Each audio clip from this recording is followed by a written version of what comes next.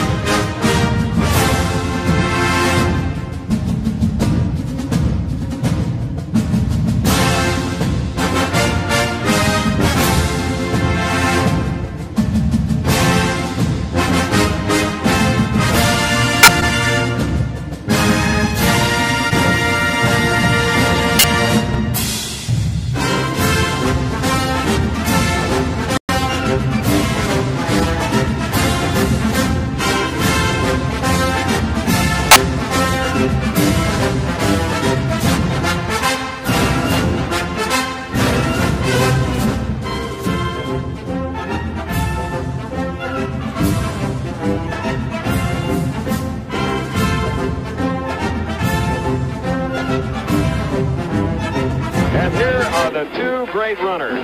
The finest running backs perhaps in college football. Two for SC.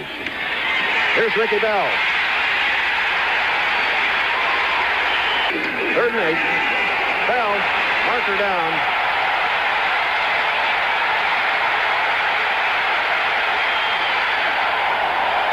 So Ricky Bell, the number one rusher. Ricky Bell The Trojans have it. There he goes. The 11th touchdown for the nation's number one rusher, Ricky Bell. The Tampa Bay Buccaneers select as the first selection in the first round, Ricky Bell, fullback, University of Southern California. The Buccaneers had lost all 14 games in their expansion season in 76, and Coach John McKay had brought so many of his former Southern Cal players in here, and the Tampa became known as Southern Cal East. When they had the opportunity to draft Tony Dorsett out of Pittsburgh, and instead took Ricky Bell, a Southern Cal player. Ricky was off to a bad start as strike number one. Ricky's first two seasons were disasters.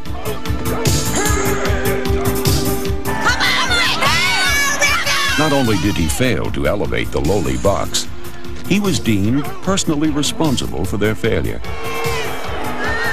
It was hard for him to understand why people were so down on him. Ricky Bell, the tailback. Ricky Bell gets the chance again. Didn't carry it, he wasn't involved. And here's Ricky Bell. Back to Ricky Bell. No way. Listen to the move. Jeb Blount the quarterback gives back to Bell, and he won't make it. Brad Van Pelt made the tackle, and the Buccaneers do not get in. And Ricky Bell is on the ground and looks like he might be hurt. It was an I formation pitch on first down most of the time. The pros can just, um, they react to that so quickly. We couldn't block anybody. We didn't threaten anybody down the field. Get out there, you idiot! Oh, horse, horse. No gut guts. That's what's wrong with us. John McKay, hoping that today is the day to get off the schneid. This will be 22 consecutive losses overall. We were unaggressive, we did not hustle, and we were uninspired. They're 0 for 22, and these kind of shirts are out. It says, go for zero, and it shows the Buccaneer boat sinking, you know? The Titanic and the Tampa Bay Buccaneers. The Titanic and the Tampa Bay Buccaneers. Name two disasters that were accompanied by band music. Green back to punt. That goes over his head. Green goes back. I take it back. Uh, they may not win the game this year at all. Here's Isaac Hagins wide open. It's a foot race now. Hagins inside the 30. He fumbles the ball. Hoping to break the 24-game losing streak today. Tampa Bay is having a long couple of years, aren't they? You can't stop a pass or a run. Otherwise, we're in great shape. A hell of a lot of careers going in Monday.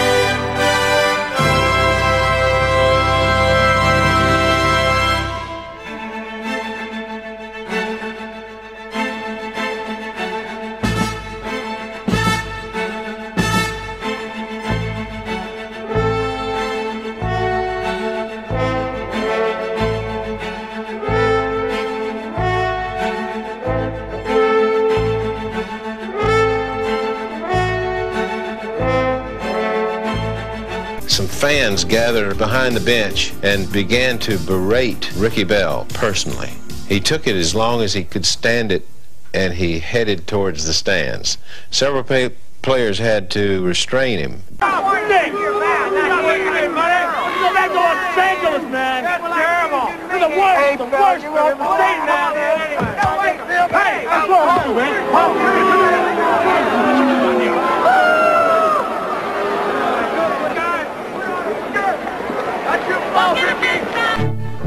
Buried by his critics in a shallow grave, Ricky Bell resurrected his career in 1979 and led the Buccaneers to a title.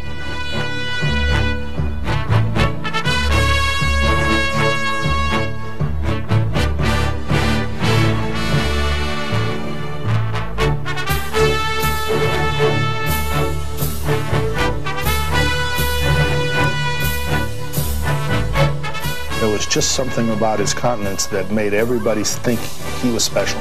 He treated everybody special, and yet he'd walk on a football field and become a, an extremely violent, uh, aggressive runner. He'd knock you down and run over you and then come back and help you up. He ran so hard that he grunted when he ran. Ha, ha, ha. If you were deaf, you could hear him coming. Bell finally demonstrated why he was chosen first in the 1977 draft. He carried defenders almost 1,300 yards, lifted the Bucs to the NFC Central Championship, and to the brink of the Super Bowl in 1979.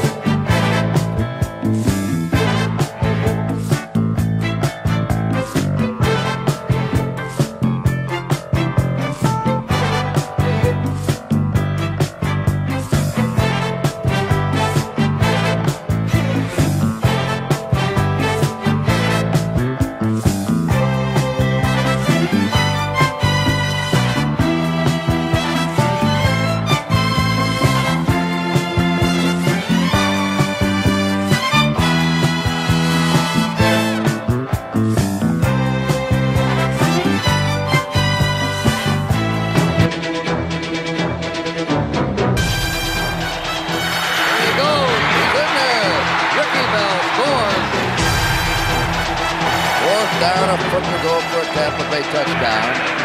That's Bell, and he's over. Ricky Bell sends him out in front, 16 to nothing. Atta baby, Ricky, that's what we need. The weapon used to implement the strategy, fullback Ricky Bell, powerless to stop the man wearing orange number 42, who before the day ended would set a new playoff record with 38 carries for 142 yards.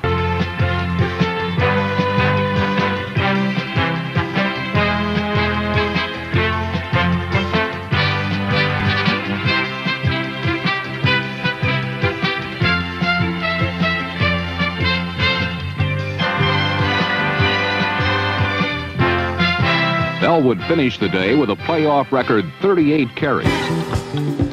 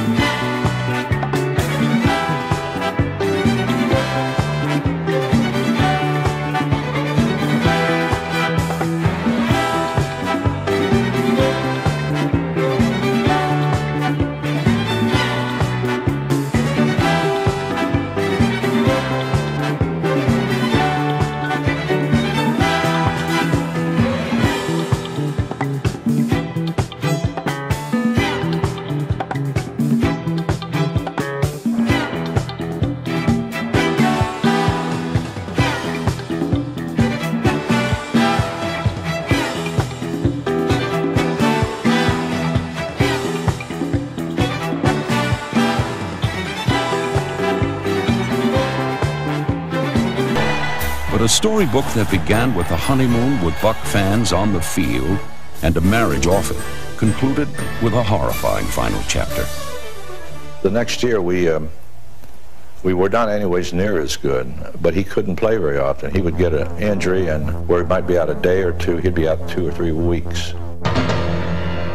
I didn't know the reason why. The trainer and the doctor didn't know the reason why. I summed it up and says, Ricky Bell would like to be on the West Coast. I'm going to put him there. Traded to the Chargers in 1982, Bell, number 42, played little. Always sick or injured, it was discovered he had contracted a rare skin and muscle disease called dermatomyositis. Probably 90% of people have a normal lifespan with this disease. Ricky's condition caused inflammation of the muscles of the heart, which occurs in probably less than 5% of cases, and this was distinctly unusual. He had a certain sense of peace with it, that he was struggling with it, he knew that we could only do so much, and he really never let this on to people around him. He was a positive, energetic soul. On November 28, 1984, the mightiest Trojan lost the one fight he never had a chance to win. You know, he was a genuinely good person. You know, nobody nobody ever had nothing bad to say about Ricky. Just a great person. And you know, it's easy to sit back when somebody's passed away and talk about how great he was, but I thought this at the time about Ricky. Probably the kindest, gentlest football player that I've ever been around. I think he had a, a sense about him that just made everybody love him. I, I, loved him, and I thought he was a great player. Knew how to do everything right. Uh, I wish there were a lot more Rickies.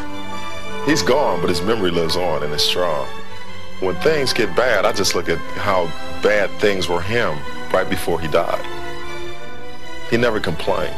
You know, he was uh, he was the kind of guy just I don't know. He was just, he was a once in a lifetime person. He was one in a million. You know, he was a one in a million guy.